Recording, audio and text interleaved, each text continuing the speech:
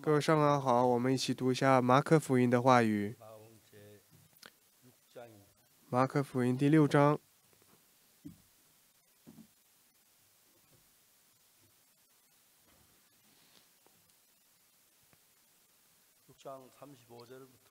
从三十五节开始读一下。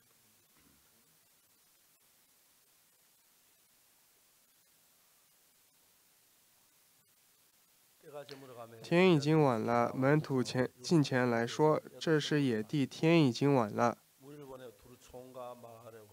请叫众人散开，他们好往四面乡村里去，自己买什么吃。”耶稣回答说：“你们给他们吃吧。”门徒说：“我们可以买二十两银子的饼给他们吃吗？”耶稣说：“你们有多少饼？可以去看看。”他们知道了，就说：“五个饼，两条鱼。”耶稣吩咐他们叫众人帮一帮，叫众人一帮一帮的坐在青草地上。众人就一排一排的坐下，有一百一排的，有五十一排的。耶稣拿着这五个饼、两条鱼，望着天祝福。掰开饼，递给门徒，摆在众人面前，也把那两条鱼分给众人，他们都吃，并且吃饱了。门徒就把碎饼碎鱼收拾起来，装满了十二个篮子。吃饼的男人共有五千。我们读到这里，我们听到这个故事的话，我们会说这不可思议啊，这不可能啊，这怎么吃了还剩这么多？那我们跟耶稣一起生活，然后我们我们过世生活的时候，我们发现耶稣给我们发生了很多惊奇的事情，这非常感谢我没有办法用言语来去形容。我们看这个世界就是很顺畅的走，但其实有很多的弯曲的。但是我们在福音里面。被神所牵引去生活是非常感谢的。我们的合唱团，我们全国巡回表演，过去一年间，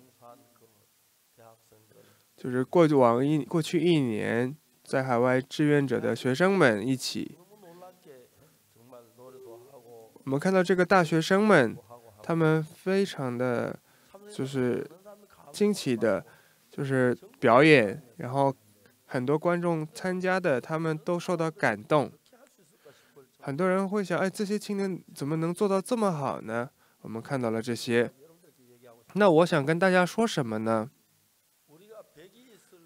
我们有一百，然后拿着一百去过一百的生活是很正常的。但是我们需要一千，但只有一百的时候，我们需要更多的时候。但只有五百的时候，我们会痛苦去焦虑，这是理所应当的。但是相反，那我们跟耶稣生活的话，有哪些改变呢？只是大家没有尝试过。但是对于我来说，我也会遇到很多感看似就是我没有办法去做好它。但是因着耶稣能够去解决这些事，然后呢，而且很完美的结收尾，我看到这些非常的感谢。就是意思就是说，没有一个是通过耶稣做不到的。所以这个耶稣圣经里面这个门徒就说，他说天已经晚了。然后就向众人打发他们去村里面去买东西吃，但是耶稣怎么说呢？我们给他们，你们给他们吃的，他不是十个二十个，是几千个人，但是说你们给他们吃吧。然后该怎么办呢？那有多少个饼？他说有几个饼。那耶稣拿着这些。这看似是很荒唐的一件事情，但是就是圣经里是说了，就是给了很多人，还剩了很多。我相信神已经耶稣很久了，已经数十年了。十几岁开始相信，现在我已经八十多岁了，是相当长的时间，我相信了耶稣。我一开始是只是去教会，但是从来没有见过耶稣，也没有跟他说过话，也不知道他长什么样子。但是圣经很惊奇的。非常详细的记载了耶稣的事情。那神在我们里面做什么呢？我们现在看到耶稣，我们感受到啊，说耶稣能不能给我五百块钱？不是这样的对话。真正的我跟耶稣，我把我的心放在耶稣里面，我相信耶稣，那耶稣在我们里面做工。我们去经历这些的话，那会在我们人生中发现很多惊奇的事情。那神在我们心里面也是，他是活着的，然后他在我们里面做工。我看到这些非常的神奇。那我们的教会，还有我们的宣教会，我们所做的事情。我非常感谢。我们未来有学校，我们打算设立学校之后就做事情，然后希望学生们有更好的教育，我们再去考虑这些。我们，我们就是为这些年轻的人，该如何教育他们，如何引领他们，我们在考虑这些。不是我自己的智慧，而是耶稣的力量在我们心里面，他引领我们。我们非常感谢。我们设立了 IYF，IYF。我一开始去美国的时候，我们牧师的师母的姐姐，那不是非常亲近的，在美国。他移民到美国生活，他的有儿子。有一次，那个师母呢，就这个就说，哎，他他的这个儿子的事情，他找到我们，他说我儿子拿着枪，我拿着枪，所以我害怕他会跟别人枪战，他也会去射别人，也可能被枪击，所以妈妈呢。就是叫儿子过来说：“儿子，你是我的所有。”妈妈现在有很多次想要自杀，但是因为你，我没有办法死。我看到你有枪，我怕你枪战的时候被枪击杀，所以我非常的害怕。儿子就说：“妈妈，你不要这样。我也不是想要活着所以活着。我每天也是会想很多次想要死，但是我没有办法。我也不是不，妈妈你你不要这样去给我带来烦恼。你这样我会想死。”他说了这些，妈妈没有话可以回复他。然后妈妈她就到我面前说：“请帮帮我的儿子吧。”现在就是之前，呃，在洛杉矶的时候比较忙，没有办法。我可以把他带到韩国来吗？他说可以，你把他带到韩国吧。我把这个学生带到了韩国。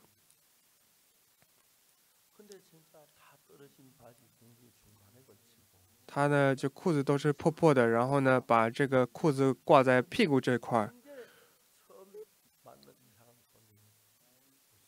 他是我生前从来没有遇到过这样的客人，然后他来到了我家，我没有去，呃，教训他，我只是把他放在旁边去给他讲圣经。有一天，这个圣经的话语进到了这个学生心里头，非常的神奇。这个学生。就是改变了，他现在在美国做生意，然后我偶尔跟他打电话的话，他就说：“牧师，我非常怀念当时牧师跟你生活。”他说想回到那个时候，他就这样跟我说。我们不管任何人，如果遇到耶稣，然后呢罪得赦免的时候，啊，耶稣因为我肮脏的我钉死在了十字架上，感受到这个爱的时候。我们对待这个圣经的时候，我们会改变。有一次，我去一个城市，那里有我们的小的教会。他那里的教徒们呢，他们就说：“来我们的教会吧，来我们的教会吧。”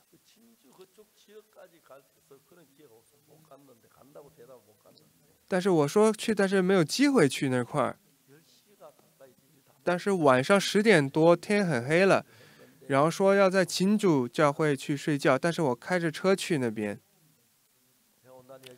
他们听到我会过来，他们十点半左右，他们教徒们聚集在那边，然后就跟他们说交流，然后要快要去睡觉了，然后我就去睡觉。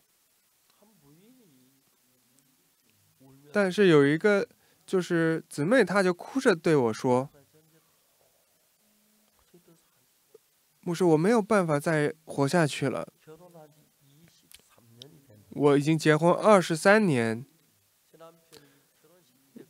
我的丈夫结婚那天他没有喝酒，但是不知道何时他开始喝酒，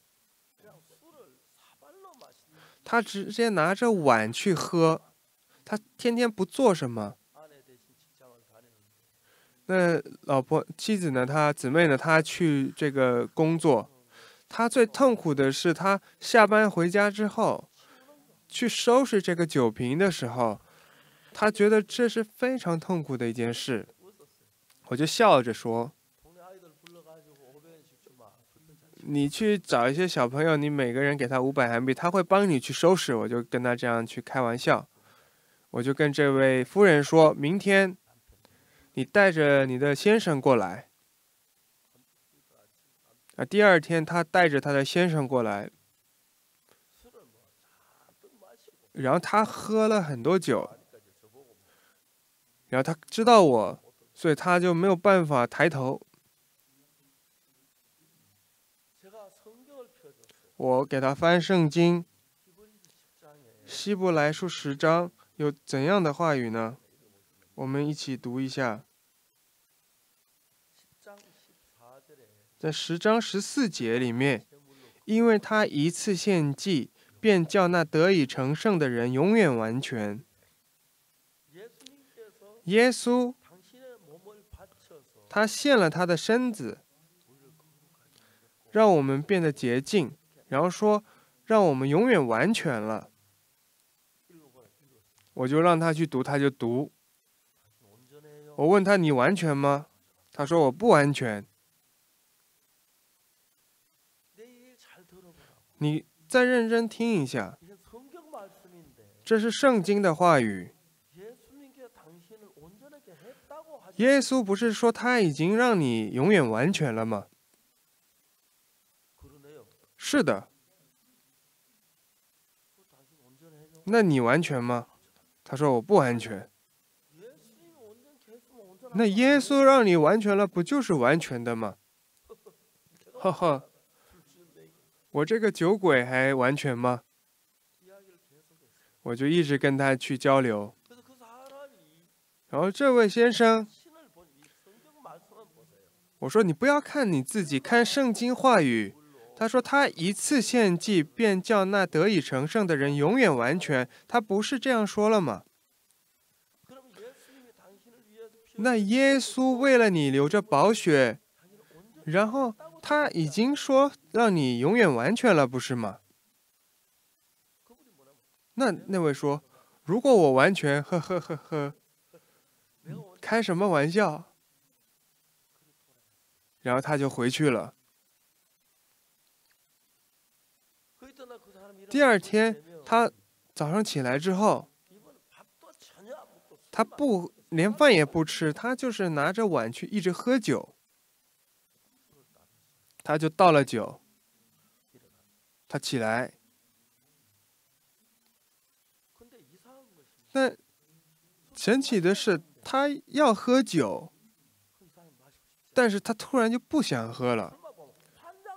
他之前呢，就是看到酒就特别开心的一个人，但从那天开始到现在，他就是戒掉了酒。过一段时间，我听到了这个消息，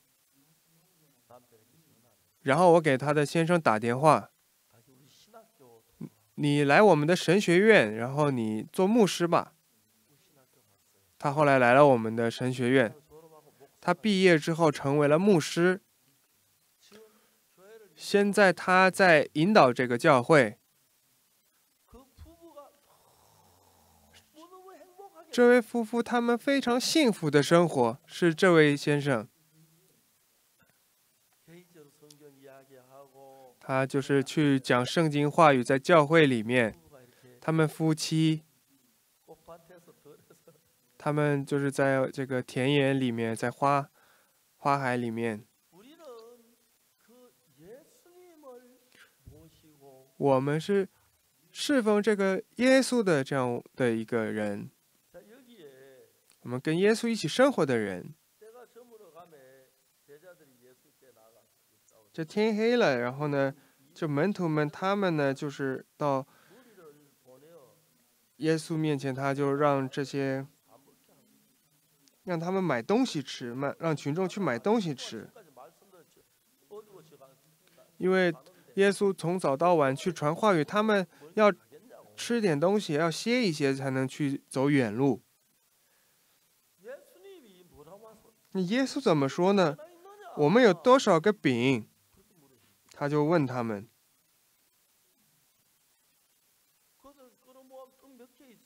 他们就说：“哎，我们有几个饼？”他有数千人，但是我们有几个饼？耶稣就把它掰开来发给群众，让他们吃。我们想一想。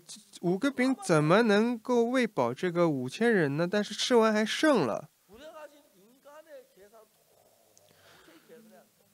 我们拿人的这种计算方式是没有办法去计算出结果。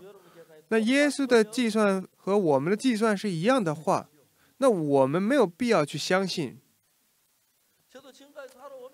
我活到现在，我看到很多困难，感觉不可能的事情很多很多。但每当这个时候，在我里头，耶稣活在我里头，因着耶稣，这些事情解决一个一个的解决，我经历了无数次，现在也是，也会有困难，也会有，但是耶稣与我同在，在我的这个问题面前，耶稣。牵引着我，我感觉非常的惊奇。最近我们的大学生，他们过去一年去海外做侍奉，在非洲，去非常贫穷的国家，他们去奉献。他们在韩国各个地方巡回，然后我跟他们一起参与。这些学生非常的快乐。一年间在非洲该他们是如何生活的我不清楚，但是我看到他们非常的幸福，然后快乐。我们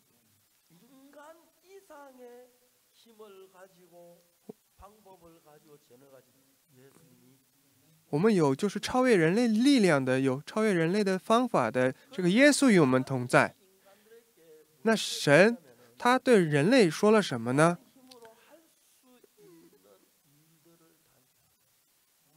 他是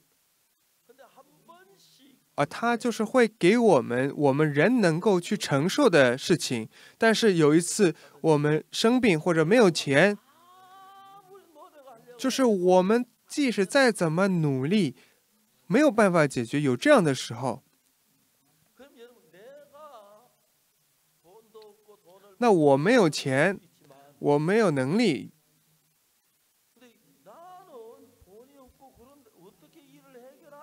那我没有这些能力没有钱我该怎么解决呢？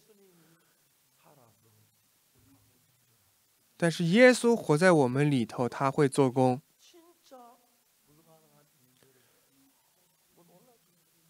真的看似不可能的事情，但是他非常惊奇的去解决它。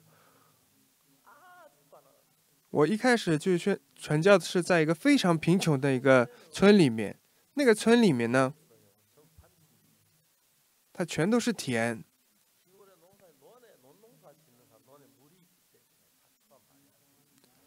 就是他。它田里面是有很多杂草的像如果是你去种水稻是没有的因为它是有很多水。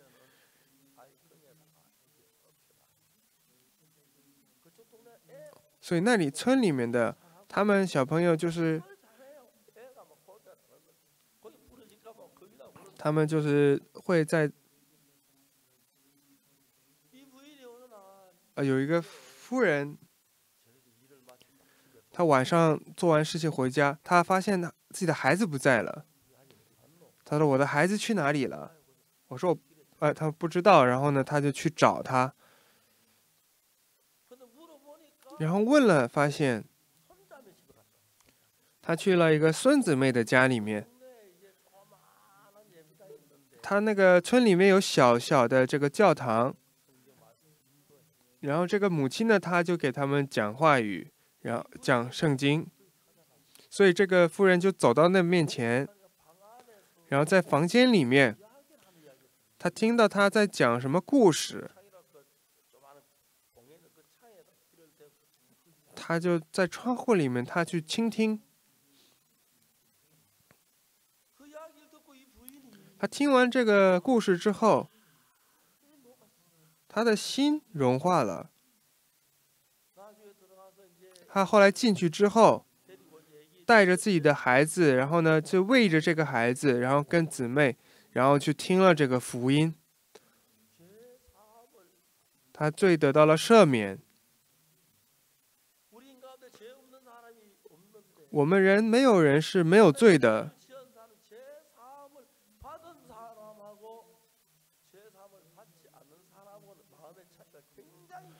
但是有罪和没有罪的人的这个区别是非常大的。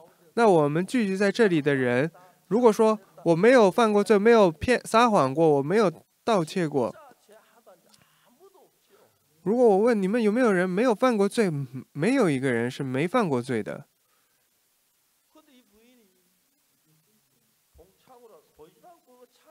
但这位妇人她只是在窗户旁边去倾听这个话语他发现自己的罪已经得到了赦免他有了这样的心他进到了里面。他改变了很多。他说有现在的话就是有这个好的椅子有这个灯然后我们现在这样去听话语。但是这位呢他呢就是用这个窗户里面，他那个，而且是用纸贴着，他只贴在那边去听这个话语，老师说，啊，我的罪也是耶稣洗净了，他也有了这样的心。每当一个人有这样的信心，那耶稣的心进到我的心里面，他会开始做工。我会拥有就是前所未有的这个心会牵引领着我。那到现在，我相信耶稣去教会。一开始我什么都不知道，然后后来罪得赦免之后，回到现在，那神让我遇到了很多奇迹，我看到了无数次。我来到首尔已经二十年了。我感觉是昨天来的。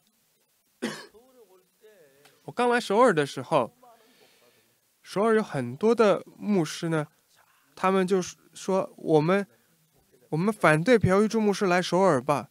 他这个警察就这样告诉我我就说笑一笑。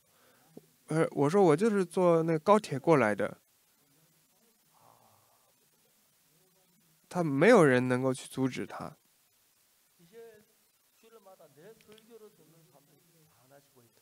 听说现在每周听我的讲道的人非常多有很多的人想要跟我们一起做事以前说我们异端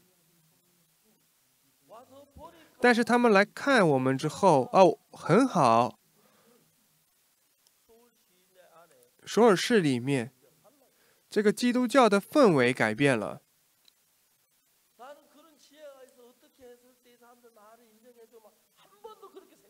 我从来没有想过，我有智慧去，我该怎么去说服他们，让他们认可我。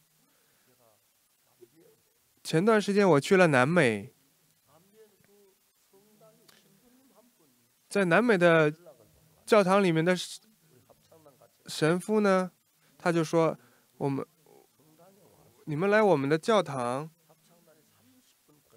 然后合唱团呢唱三十分钟的表演。”然后牧师来传二十分钟的这个话语吧。那这是多么可喜的事情呢？我给神父讲了二十分钟的话语。然后过了二十分钟后我们就一直交谈他也不会去阻断。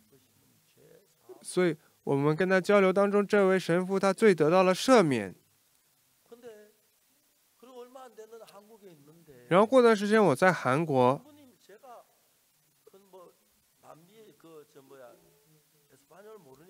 因为我不会讲西班牙语，所以他就去学韩语之后，用韩语写信给我。他用 YouTube，你过来之后，在我们的教堂里面，周边大概有七十位神父，你过来把之前给我讲的话语也给他们讲一下吧。然后我已经得到了罗马教皇的许可。然后我过去我一定要去。我本来是要给七十位神父去讲话语没想到有两千个人聚集。我也不知道谁是教友谁是神父然后我给他们讲了怎样去罪得赦免，然后这个是我在传话语的画面，大概有两千个人。第二天来了三千个人，当时位置都不够，所以很多人都回去了。你知道他们为什么举手了？我说你罪得赦免的人举手，他们举手了。然后你们看这边还来了和尚。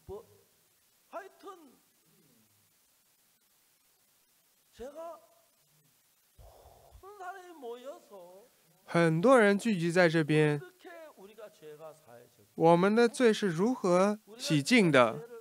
我们所犯的罪我们为了我们的罪耶稣是如何钉死在十字架上？我们没有做任何事但是耶稣他代替我们的罪受到惩罚，钉死在十字架上，那都是为了我们的罪而去世的。大家能理解吗？那我再问一个问题，你们回答一下。那耶稣钉死在十字架的时候，耶稣他有没有罪呢？他没有罪，但是他为了谁的罪死去世的？他是为我们的罪去世的。那我们的罪是洗净了呢还是没有洗净呢？这个问题在韩国的教会和我是不一样的。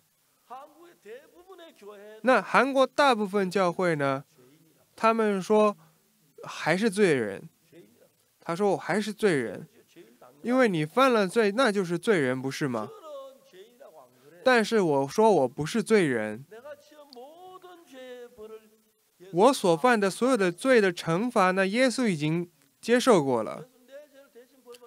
耶稣代替我们的罪已经承受过了那我们还说我们罪人的话那他不是徒劳了吗？我们在就是我们不是罪人。那你犯了罪怎么不是罪人呢？我小时候我的父亲的朋友他们在学校对面他就是开这个文具店。我跟父亲说我的那个本子不够了。啊你去朋友家去拿要一个吧。因为跟爸爸比较熟所以我跟叔叔说叔叔你好我的父亲说他说他会给你付钱所以让我去拿本子。好那你去拿吧。啊你要哪个？这个拿吧这个三百块。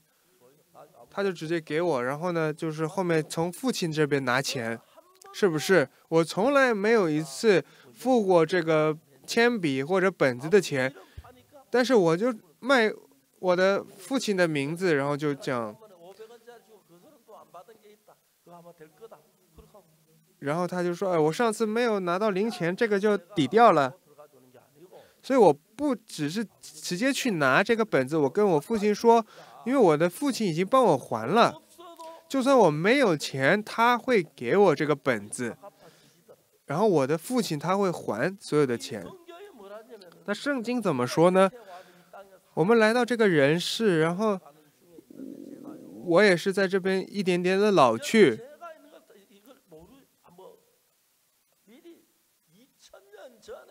就两千年前定死在十字架的时候他为了我们的罪他定死的。圣经里说所有人都犯了罪亏缺了神的荣耀。但后面说但是因着耶稣里头的救赎蒙神的恩典白白的称义了。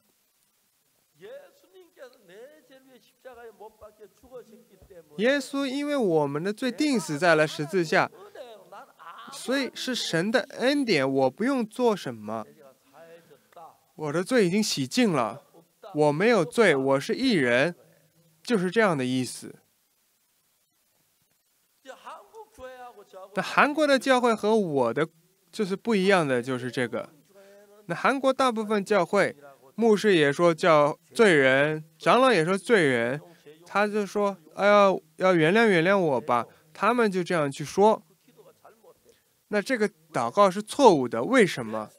因为耶稣已经为了我们的罪代替我们的罪已经惩罚受到了惩罚。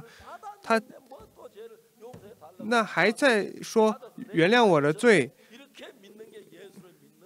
相信耶稣应该是说啊我的罪已经洗净了这才是相信耶稣那当今很多的教会呢他们嘴上还是说我是罪人。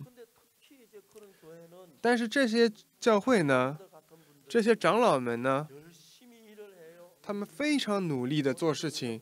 有钱的人他们成为长老然后他呢就是把财产呢就是捐给教会然后去帮助这个教会。但是问题是什么？这些长老还是罪人为什么是罪人？耶稣定死在十字架上，他不相信这个，所以他还是罪人，能理解吗？我们都犯了罪。现在没有一个人是没有犯过罪的，但问题是。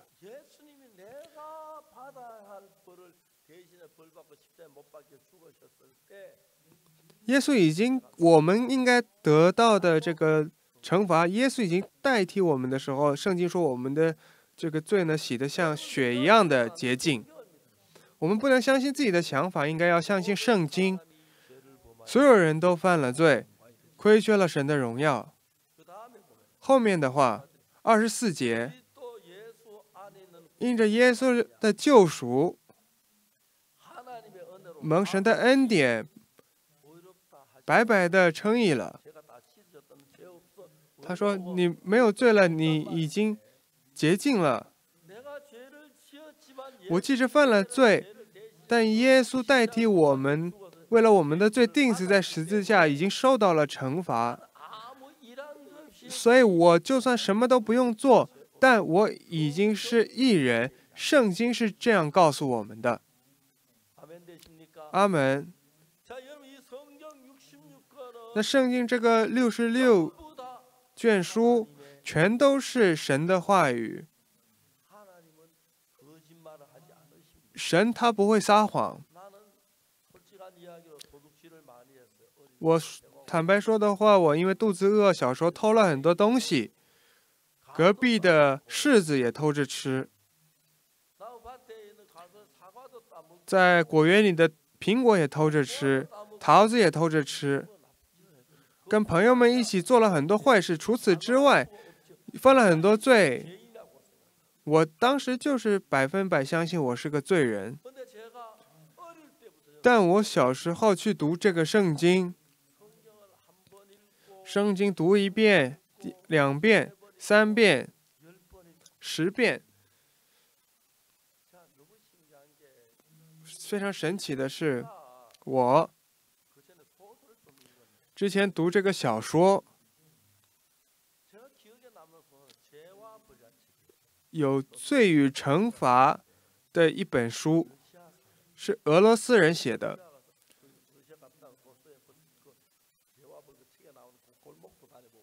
我之前去俄罗斯的时候也去走过这个小说里面的这个小巷。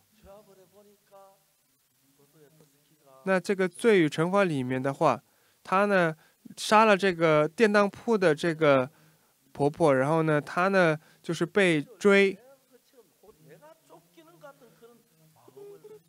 然后我看这本小说的时候就感觉我也被追，所以我一口气读了两遍。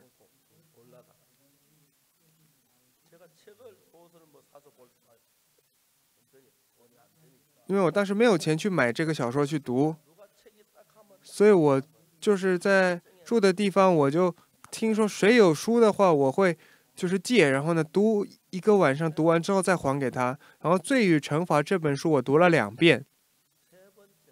第三次的时候就感觉太无聊了就不读了然后就去找其他有意思的去读。那圣经的话它非常神奇的是我数数百遍也是。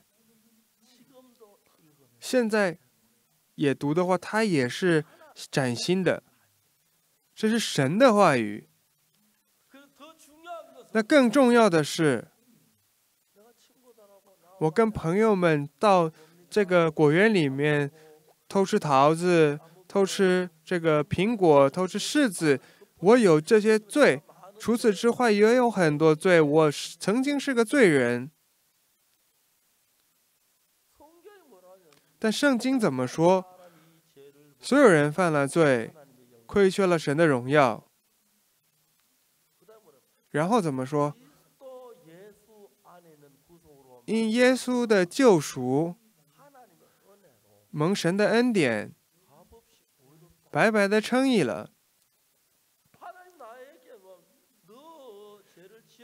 神跟我说：“你犯了罪，但你犯的罪，耶稣钉死在十字架的时候，他已经代替你承承受了这个惩罚，所以耶稣代替你去世了，所以你不用做什么，你白白的称意了，你就是成为了一个艺人，没有罪了。圣经是这样告诉我们，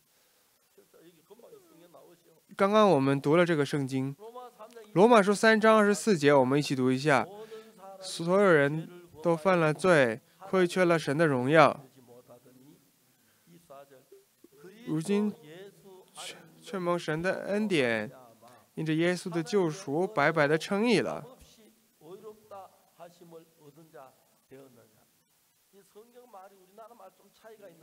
这这个圣经的话跟我们现在的话有点不太一样，这个意思就是我本来犯了罪，但是耶稣他定死在十字架上，救赎了我们，他救了我们，他就拯救了我们的意思。所以我们的罪呢，它就是洗净了，所以神说我们是一人，他这样告诉我们。阿门。有没有第一次听这个话语的？这个圣经是怎么说呢？我们犯了罪，我们罪的种类也很多。同样的罪然后反复犯然后第三次犯我们这样犯犯了罪。但是耶稣代替我们接受惩罚然后他钉死在了十字架上。耶稣就是接受惩罚之后呢他已经结束了我们的这些惩罚所以我们的罪是洗净了的。但是牧师说，呃，说牧师不是又犯了罪吗？那你所犯的罪也是，是耶稣在十字架上已经洗净了。所以呢，我们所接受的惩罚，耶稣呢定死在十字架上已经接受了这些惩罚。所以神说我们是一人，是不是？是不是呢？所以我们一起再读一下。所有人都犯了罪亏缺了神的荣耀。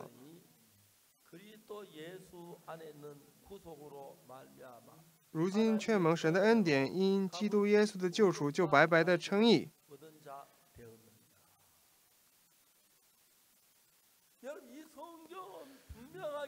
这个圣经分明告诉我们我们犯了罪但耶稣代替我们钉死在十字架上，所以我们不用做任何事情，白白的称意了。意思就是一人没有罪的意思，能理解吗？他说白白的称意了。那我就反问。那审判官说，你是艺人的话，你是罪人还是艺人呢？是艺人。圣经是这样告诉我们，但是首尔市里面的很多教会，他们问这个教徒里教他们是罪人，很多长老就说，哎呀，我肮脏的罪人，然后呢拿着耶稣的名这样的祷告他们。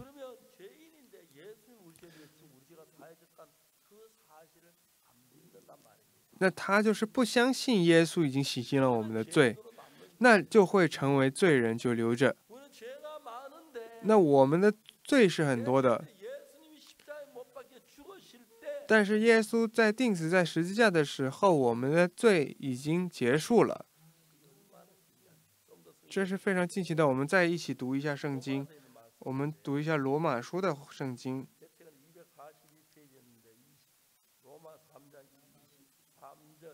二十三章，啊，二十三章二十三节，就是我们看前面。他说因为世人都犯了罪亏缺了神的荣耀。我们都犯了罪。我们二十四节如今却蒙神的恩典因基督耶稣的救赎耶稣代替的我们然后救赎了我们。然后蒙到了神的恩典白白的称义了。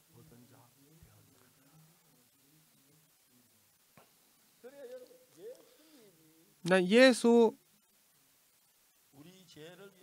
为了我们的罪他去世。神看着我们说你是一人你是没有罪就是干净的洁净的意思。你的罪已经洗净了你是洁净的你是干净的你是一人。他是这样跟我们说。我们抛开一切就算我犯了什么罪那神说我是异人的话，那我们就是异人。这样相信才是真正相信耶稣。阿门。能理解吗？但是在首尔市里，大部分教会、牧师和长老都说我们是罪人。耶稣有一天在这个人世的时候，他去找这个施洗约翰。这个施洗约翰，然后耶稣说：“给我按手。”他是神的儿子，我应该就是受从受洗。为什么我？他说这是神的意愿，所以施洗约翰呢，他把双手放在耶稣头上去按手的时候，我们人类的所有的罪转移到了耶稣身上。然后圣经后面说了，第二天。约翰看到了耶稣走过来的样子。在昨天是给耶稣头上按手，但是第二天耶稣看到他，耶稣走到他面前说：“看那背着世人罪的神的羔羊。”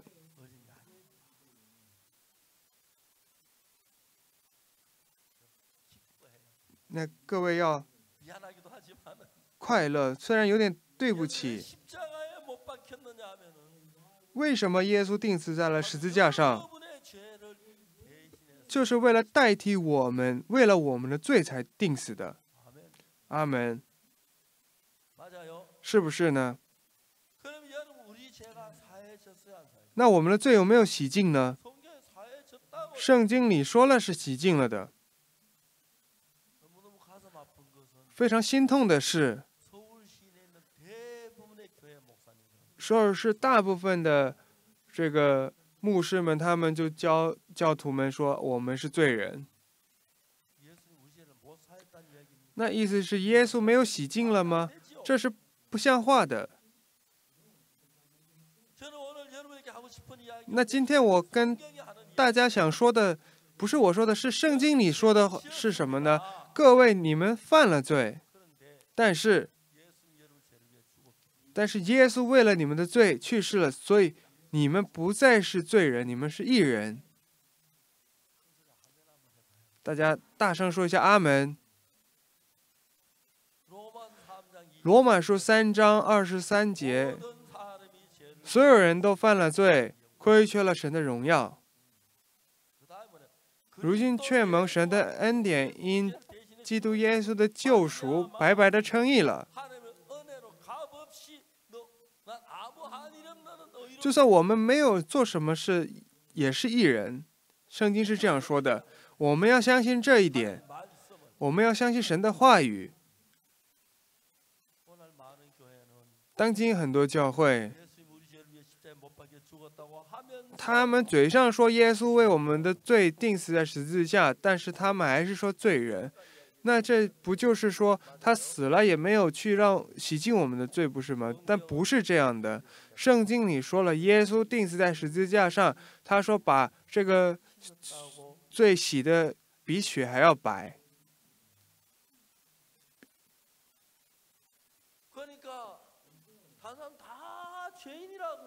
其他人都说是罪人。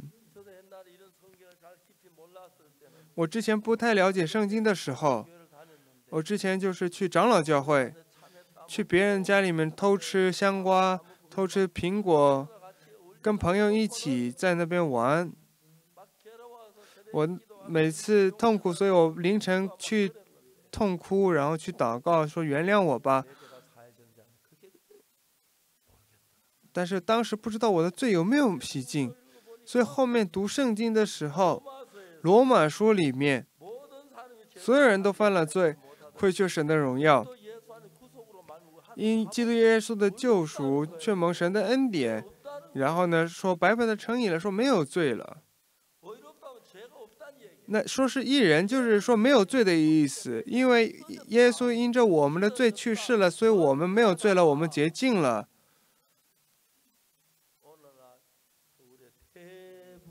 当今首尔大部分教会，还是说我们是罪人。那这些人他们成为执事成为长老。他们勤奋的去赚钱然后呢奉献给教会后来就死了。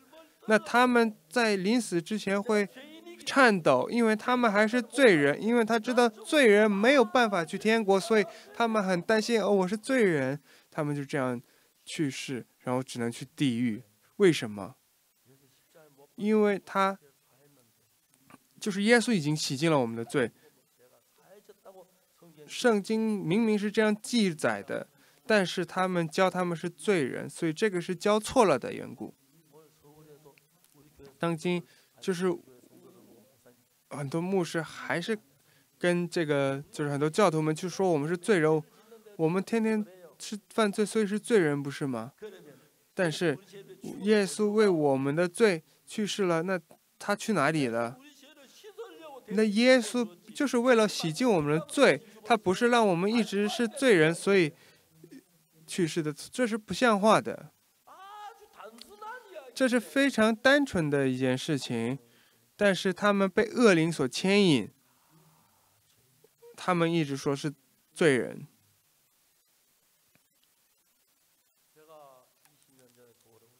我二十年前来到首尔，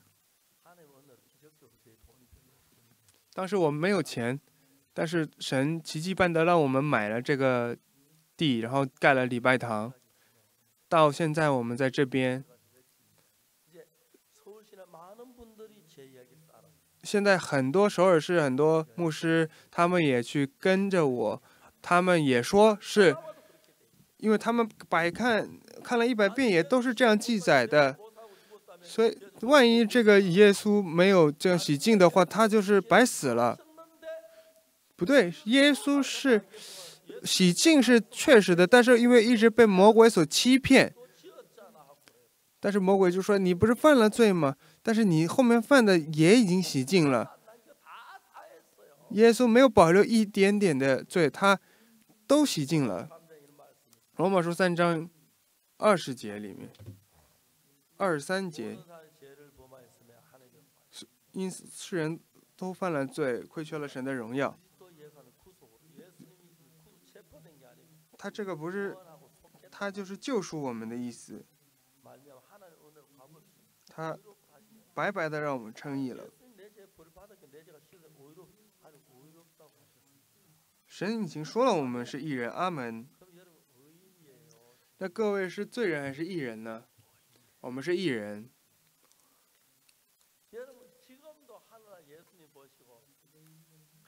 那神现在也在天国里面看着我们，你们这些人怎么怎么这么？他说：“我已经承受了你的罪，惩罚你，为什么还说你是罪人呢？耶稣可能会生气。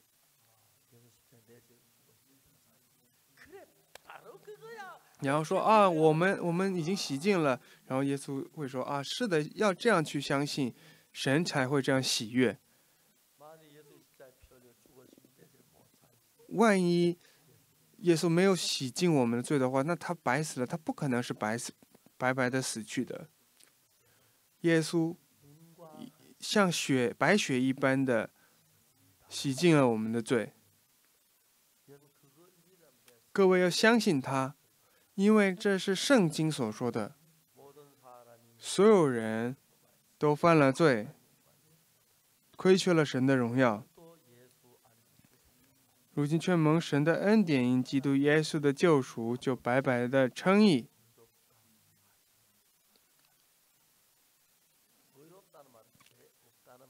这里的一人称义，就是说没有罪的意思。那神为所有的人啊，你们曾经犯了罪，你们犯了罪，但是我的儿子在十字架上已经接受了所有的惩罚。所以已经把你们成为了一个艺人，可以阿门吗？我们要相信这一点。所以我呢，到目前通过很多电视台也去去，然后去传达这个耶稣洗净了我们的罪。现在也越来越多的牧师。说朴玉珠牧师所说的对，但还是会有一些，就是会有很多那个说是罪人。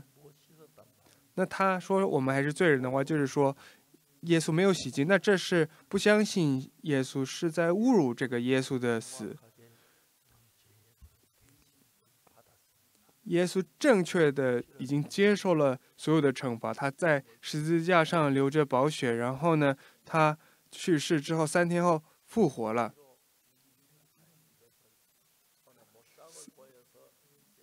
所以他后来给我们看我们的这个，就是被钉子钉的这个痕迹，然后就说这个就是我的证据，已经洗净了你的罪。所以各位当中，对这一有什么好奇的吗？耶稣在世界上定死了，他们已经，那我们不是再犯了罪吗？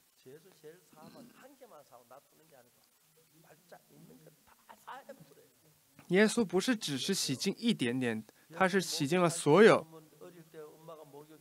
那各位小时候，妈妈给你们洗澡的时候，只给你们擦脚丫子吗？他会你的从头到尾他都会给你们洗干净，你们在家洗澡的时候也不都是嘛，从头到尾都洗干净，那所有人都是这样子的，我们的罪永远的洗净了。所以，但是很多教会当今他们在教误导人们。他们也有他们的理由，但是我们明确的是。耶稣为我们的罪然后呢洗净了我们的罪说我们是异人。他们还是说我们是罪人的话那这就是污蔑神的耶稣的。我们不要再说我们是罪人我们就是在十字架上已经洗净了所以我们是异人我们能去天国。我们的教会的这个教徒们我去给他们讲了这个事实呃所以他们面对微笑然后呢就是很多长老他们就是他们捐了很多钱给教会然后他们是长老长老就是但是他们到面临死亡的时候他就没有得救他们他们没有认真去读圣经所以不知道自己已经洗净了但是圣经里是说了我们已经洗净了阿门这个事实，我们要用信心去接受。他的从那之后，我们的心和神的心成为一个耶稣，会成为我们的主人。我们人生当中的事情，他都会帮助我们，会给我们恩典，保护我们。我也是去传这个话语，就是。很多牧师呃是不知道我在讲这些话语，他们就说我是异端。但是这样的牧师越来越少了，有很多牧师去跟着我，所以我看到这些非常感谢。所以首尔市民都能够去罪得赦免的话，神会非常的快乐。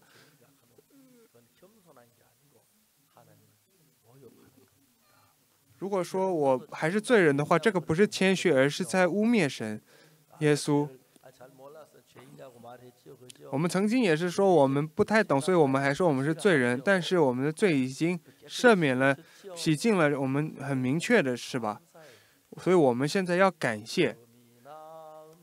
然后像金子和银子它是会消失的我们不是像这样子去得到了救赎。我们是神的羊羔的宝血得到了救赎。这个赞美诗里面，这个已经都有了这样的歌词，但是他们会说：“啊，我还是罪人。”是。他说：“已经救赎了，救赎了，但还是罪人。”但是我们的罪因着耶稣的宝血已经洗净了。我们要相信，相信他。我们要用信心去相信。我们这个叫信，信心。但是我不太懂但是圣经里是怎么说圣经说洗净那就是洗净了的阿门。像白雪一样。然后再过信仰生活的话会非常的快乐我的罪得到赦免之后就是被神引领我们的心跟耶稣成为一样的心神耶稣引领我们的话我们会非常的快乐。我在人生当中也有很多困难和痛苦，但是每当这个时候，主帮助我。我现在已经年纪大了，但是还是非常的感谢。还有很感谢的时候，其他的教会他们是有这个年龄满了，就是年纪到了七十的话，就是要退休，然后这样子。但是我们教会的话，他还没有这样的规定。我们已经八十岁了，但是没有人让我退休。每次我最近上来的时候，会不会有人把我拉下来？但是我还是可以能够在这个这个面前去大家面前讲话语，所以我非常好。我们教会很好，所以大家也要像我一样，跟其他人去传这个福音。耶稣钉死在十字架上是为了我们的罪，因此我们就是耶稣在十字架上最后说了什么？他说了成了。他已经完成了耶稣神让他来到这个人世，然后去洗净人们的罪，然后他复活之后，他呢就是已经呃复活之后在等待着我们。我现在年纪大，我应该会比你们走得早。有些人，有些人他年轻比我走的还还还早，他们在神面前这样的生活。他们能够，我能够到神面前，所以非常感谢。我到死之前，临死之前，我还是要一直会去传这个福音。所以各位，不是因为大家有什么优点，而是他白白的，就是给洗净了我们的罪。所以大家拿着感谢的心，然后也把这个话语福音传给别人，然后去给他们讲解。然后耶稣在十字架上。他已经洗净了我们的罪，所以他不是再是罪人了，就是跟神一起去天国。然后希望各位也成为神的仆人，然后一起，看神会给你们祝福你们。我在过去数十年间去了很多国家，全世界各个地方，然后去传福音。现在有很多人要跟我们一起去传这个福音。曾经。在全世界最大的教会在印度，在那里有这样的布道会，然后被各个国家邀请，然后从明天开始我要去海外，然后要开始去传话语。那次，啊，我相信就是相信神也会做工，然后更多的人去得救，然后很多总统也得得救。然后在 S Y T N 的。一个国王的秘书呢，他来这边一起去这个，呃，来我们的聚会。他的国王也是，就是，呃，听了福音，他得救了。他是怎么见到？他是有一个学生，他去做志愿者，他是做音乐的。然后他的那个 S Y T N 政府，他们国立大学的毕业典礼，然后说这些学生们说，我们去给他们唱歌吧。然后他就跟负责人说：“我们是来自韩国的，我们唱歌很好。我们在毕业典礼的时候想要祝贺大家，然后唱一首歌。他们负责人说不行，为什么？因为今天国王会过来，他们要来参加这个毕业典礼。所以昨天的话，我们看了那个这个时间表的话，没有办法再改了。所以那我们就参加毕业典礼就走了。突然一下，这个人就跟我们说：你们现在国王现在还没来。”这个听众都来了，你们能不能唱一下歌？哦，可以呀。然后他们要唱几首，唱了三首。然后唱到一首半的时候，国王他过来，然后这有两个学生在那边。这个国王他坐在面前，他就是国王。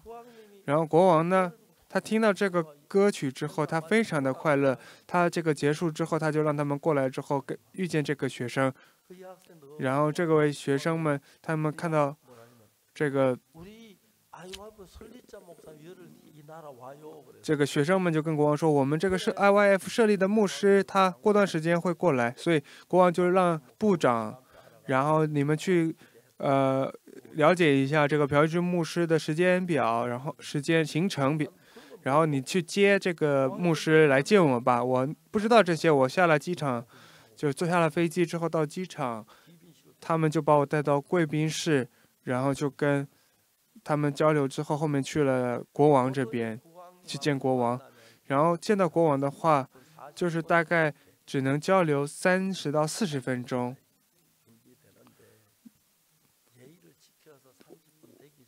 但是在我就是大概三十分钟，你要大概要开始要离开了，要准备了。但是那天我那天传了三十分钟的话语跟国王。然后国王他听完之后呢，他话语结束之后，牧师，你能不能再给我讲一点？然后我再给他讲了三十分钟。然后国王又说，牧师能不能再给我讲一遍？然后我传了三次三十分钟，然后后面就站起来，非常欢乐的给他去讲。那天国王他罪得了赦免。非常感谢。国王他跟我说他拜托我一件事我们国家没有医院他们有生病的话要坐飞机去别的国家能不能给我们设立一个医院？然后我说设立医院不难但是这个选医生比较难前段时间我们去某一个国家我们传教士的他的妹妹是医生，她在那边。她说：“你是医生吗？是的。”那你为什么玩着呢？说医院太累了，想休息一下。什么困难呢？你去这个埃斯瓦提尼这个国家，去这边我们要设立医院，你去当院长吧。她说很开心，她就过去。她我就把她介绍给这个国王，然后介绍给她。我不知道他当时表情为什么没有微笑尴尬，但是要这样去微笑。然后这个位医生呢，他现在在韩国去接受教育，除了他以外，我们会五月份前去给他们培训。他在这个女性医院里面，他在各个领域他都去学习。他除了自己的专业领域以外他去学习。他五月份我让这个教会说你们去建一个医院吧他们应该在建这个医院。然后在 s 滑梯里有医院的话会非常的好以后我们会去招募更多的医生之后派到那边之后然后这个国王呢他就就是给国王打招呼说他会成为医生，他就非常的开心，然后我们跟国王非常的好，关系非常的好，然后非常感谢。那我去 Swatini 去布道会的时候，大概他们聚集了两千个这个慕会者。然后我传完道之后呢，然后这些慕会者他们就过来说，我们要属于这个呃好消息宣教会他们的就是话语是非常正确的，是属圣经的。所以我每次去 sytv 的时候，在这么大的讲堂里面，然后有两三千个人聚集在那边，一起去传道。以后我们会让他们也去神学院学习我们的话语，然后神通过我们做了很多事情，然后各位也是最得赦免之后，拿着非常感谢的心，然后。只是停留在那里，是给身边的人去讲，让他们去相信耶稣已经洗净了我们罪，那神会给你们祝福。那希望韩国人都得救的话，那我们这个国家会成为非常平安的国家。我们各位的家人都得救的话，那家人之间也会非常的亲近，非常的好。你各位的心里都会充满快乐。很多人在离世前，他们就颤抖，因为很多人他们都说自己是罪人因为他们知道就是有罪的话会去地狱所以他们不知道。但是十字架里面已经都神在耶稣在那边已经洗净了。我们本是罪人但是已经洗净了我们我们要这样去说。然后在我们教会里面会非常快乐的生活。今天这个礼拜然后我们在这个宝贵的这个时间一起去礼拜，非常感谢。各位也相信就是已经洗净了我们的罪，是是吧？你们这个有任何疑问，你们可以来找我，然后我可以非常详细的给大家解释。你们最得赦免之后，也给身边的人，我们即使犯了罪，我们曾经犯了罪，但是耶稣已经给我们这样的，已经洗净了。这样简单给他们讲他们能够去天国也是非常好的是不是呢？那今天的话也就到这边